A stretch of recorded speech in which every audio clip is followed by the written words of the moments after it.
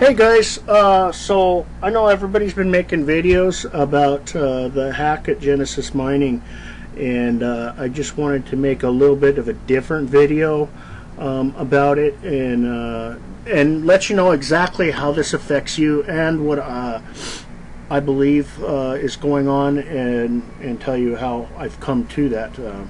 so Genesis Mining, if you haven't heard, was hacked on Friday. Um, and uh, they've kept quiet about it until now, um, which uh, I would have much rather them uh, seal up the hack and let us know uh, immediately, um, so that we know what knew what's going on instead of uh, keeping us in the dark or even leading us in in a direction uh, that is not what happened. Um, so I, got a pretty big beef about that. Um, you know. Uh, Genesis has not been a very transparent uh, company um, about things like this, um, and I have detailed that in the past. So, um, my next thing that I want to say is now they're saying that personal accounts were not affected, and uh, I'm not too sure about that. Um, and let me tell you why. I received a hash power upgrade uh, recently, last night. Uh, that was before this announcement right here. And uh, the email that I received was in Portugal. And uh, I've never received, no matter um, where or who has used my code, I've never received anything but my emails in English, which means that uh,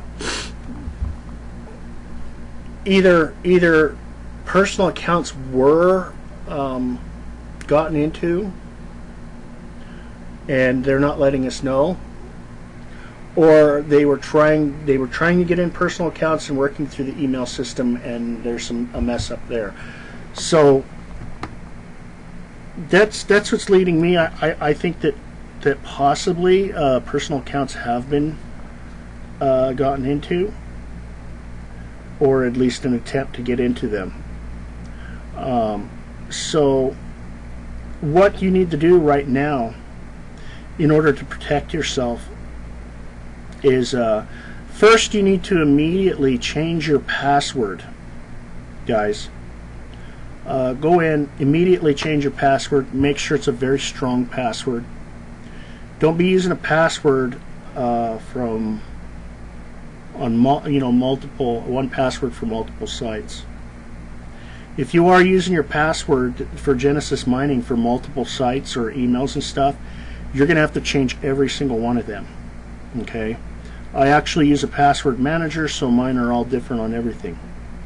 So I'm not going to get into recommending password managers in this, but you need to need to change your password regardless on Genesis Mining. The next thing you need to do is you need to go back and you need to double check every single one of your wallet addresses. Make sure that your wallet address is correct, especially on your Bitcoin wallet address. Um, but uh, I went through mine and none of my addresses were changed but um, you need to definitely make sure that uh, that it is the correct address. Make sure that you absolutely change your password um, because they could have uh, got in and got a file with all the passwords and uh, that could open them up to at a later date uh, coming in and uh, taking your funds and redirecting them from your accounts via logging into your account. Uh, if you change your password now, um, that'll block them from doing that. So that's my recommendation right now. Uh, make sure you change your password and double check all of your addresses to make sure they are correct. Um, it wouldn't hurt too if you can to make sure that your um, to check the rest of your count, make sure that you're getting the, the correct amount of hash power, um, the correct amount, uh, you know, that everything is allocated in the correct place. Um, so, uh, really you, you need to go through your whole account and make sure that everything is as it is. But before you, first thing, change your password. So, anyway, guys, be very safe.